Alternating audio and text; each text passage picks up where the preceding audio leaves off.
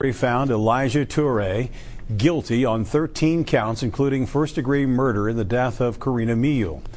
The prosecutor said Toure broke into Meal's apartment, bound her, and sexually assaulted her.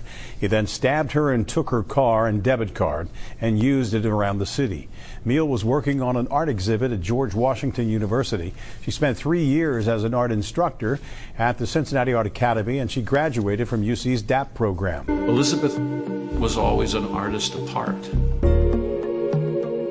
I don't know anyone who's more almost obsessive about detail. You can see it in her work, but it never loses its charm. It never looks overworked. She's a wonder, and she's brilliant. Uh, uh, there are very few artists of her intellectual caliber.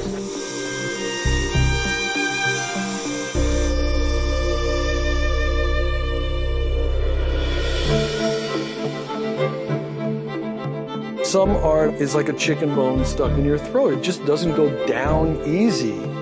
And in that, you have to kind of, you know, you have to kind of be with it to kind of get it. She's like secretly famous, you know? Everyone who sees her work does not forget it.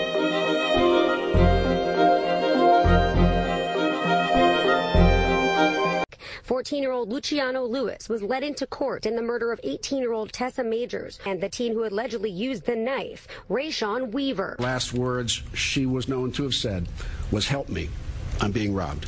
That's when the prosecution says she was stabbed four times by Weaver as Lewis held her in a quote headlock or a bear hug. But she fought back, and police sources say she bit Weaver. Paula Cooper was convicted of the murder of the 1985 death of 78 year old Bible school teacher Ruth Pelke inside her Gary home.